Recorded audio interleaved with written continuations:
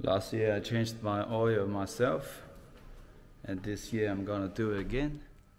Same oil from last year, and same filter from last year. Procedure is the same. You open the hood.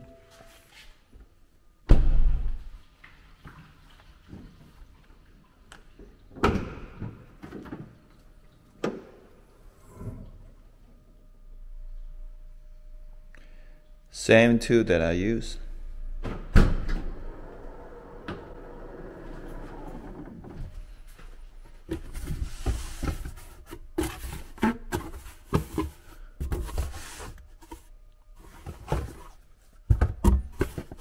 The pump, the socket,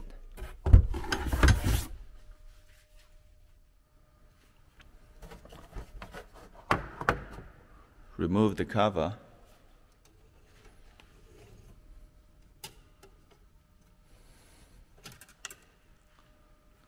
Take out the dipstick.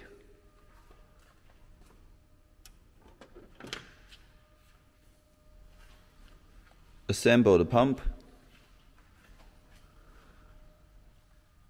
Put the straw through the hole of the dipstick.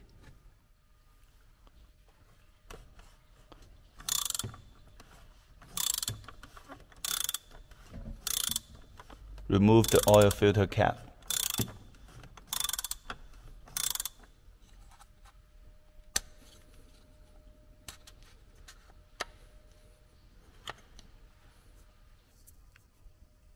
Open the engine oil cap so that the air can get in.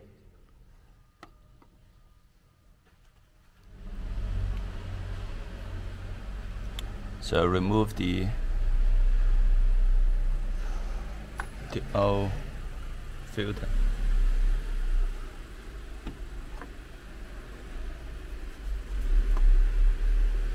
Remove the oil ring.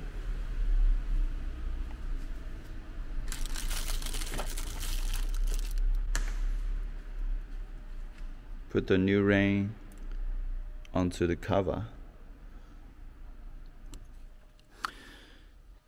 Yep, the new filter. There's a connection point here.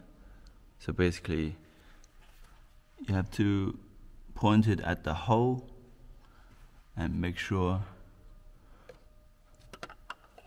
make sure you secure it. So you can see that hole there, just for this uh, this tiny little ring to secure the um, the position. Then you can put the oil, um, oil filter cap back on.